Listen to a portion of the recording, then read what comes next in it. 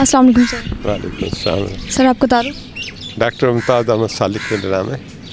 मैं पंजाब यूनिवर्सिटी से रिटायर हूँ। अब विजिटिंग में जाता हूँ। सर मिनहाज यूनिवर्सिटी दूसरे कौमी अदबी नात कॉन्फ्रेंस का इनका कर रही है। आपका इस बारे में क्या है? नहीं बहुत अच्छा प्रोग्राम है और ये अच्छा सिलसिला शुरू हुआ है। और इससे नात गोई में और इसके फ़न को फ़रोग देने में बड़ी मदद मिलेगी।